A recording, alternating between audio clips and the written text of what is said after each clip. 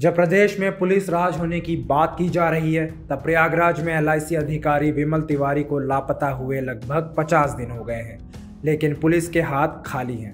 जबकि योगी राज में गुंडा राज के खात्मे का दावा किया जाता रहा है। बता दें कि प्रयागराज में पहले भी अपहरण जैसे मामलों को अंजाम दिया जाता रहा है, लेकिन अतीक अहमद का गुंडा राज खत्म होने के बाद माना जाने लगा था कि अब प्रयागराज पूरी तरीके से गुंडों के कब्जे से बाहर है। लेकिन एल अधिकारी विमल तिवारी के अपहरण जैसे दिखने वाले मामले ने फिर से प्रयागराज के प्रशासन पर सवाल खड़ा कर दिया है। मेरे पति विमल तिवारी एलआईसी में डेवलपमेंट ऑफिसर है। 19 तारीख को रात सात बजे उनके एक मित्र का धर्मेंद्र निषाद का बार बार कॉल आ रहा था और उन्हीं के घर उनसे मिलने गए। हम और हमारी दोनों बेटियाँ पुलिस से मिलते रहते पुलिस कहती है जाँच कर रहे हैं जाँच कर रहे हैं। सरकार से आप क्या मांग करते हैं?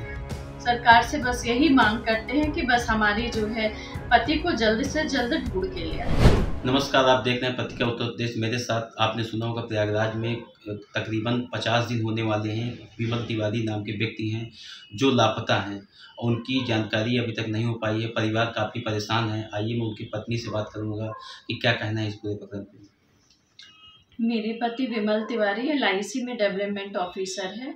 19 तारीख को रात सात बजे उनके एक मित्र का, धर्मेंद्र निषाद का बार बार कॉल आ रहा था और उन्हीं के घर उनसे मिलने गए। उसके बाद से उनका कुछ पता नहीं चला है और सोची समझी साजिश के तहत उनको किडनैप किया गया है। उनकी जान को भी बहुत खतरा है। पुलिस प्रशासन को क्या कर रही है, हमें पता नहीं है, लेकिन जैसे जैसे दिन बीत रहे हैं, हम लोगों को बहुत ज़्यादा तकलीफ़ हो रही है। हम और हमारी दोनों बेटियाँ पुलिस से मिलते रहते पुलिस कहती है, जाँच कर रहे हैं, जाँच कर रहे हैं। हम योगी जी से यही प्रार्थना करते हैं कि जो है वो कहते हैं, बेटी बचाओ, बेटी पढ़ाओ। हम दोनों बेटियों को लेके परेशान हैं। हमारी विनती सुने और हमारे पति को जल्द से जल्द ढूंढ के ले आए। आपने किसी पे आरोप लगाया है कि आ... हमने धर्मेंद्र निषाद के खिलाफ एफआईआर दर्ज करी है क्योंकि वही व्यक्ति कह रहा है कि वो जंप कर गए हैं और कोई चमत्कार होगा तभी वो मिलेंगे। तो आपने जब आपके पति आपने उनको आखिरी बार कब कॉल किया था? कॉल हमने साढ़े दस बजे किया है फिर उनका कॉल रिसीव नहीं हो रहा था। तो इस बात की जानकारी आपको किसने दिया था? इस बात की जानकारी धर्मेंद्र निषाद को जब मैंने कॉल किया उसके बाद तो उन्होंने कहा वो निकल गए हैं। लेकिन फिर जो है उनको कुछ पता नहीं चल रहा था। आपके पति का मोबाइल और गाड़ी कहाँ पे बरामद हुई थी? हमारे पति का मोबाइल और गाड़ी नैनी पुल पे जो है बरामद हुई है।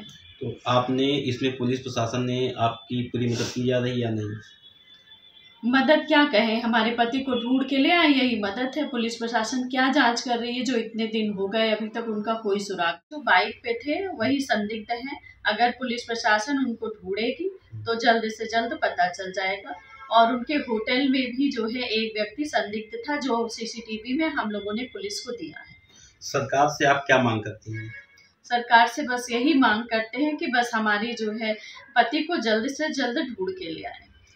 ये हमारे साथ बिमल तिवारी जी की पत्नी है और इन्होंने बताया कि इनके पति तकरीबन पचास दिन से लापता हैं और पुलिस इस मामले को अभी भी ढीले रवैये से देख रही है और इनकी तो कई दिनों बाद इनकी रिपोर्ट दर्ज की गई है। अभी भी पुलिस का इस पर कुछ विशेष कहना नहीं है। पुलिस इनको डेली बुलाती है और कहती है, हम जाँच कर रहे हैं, जाँच हो रही है, लेकिन आज तक कुछ कोई जो व्यक्ति पे इन्होंने आरोप लगाया है, न उस व्यक्ति की कोई गिरफ्तारी हुई है, न उससे कोई पूछताछ हुई है।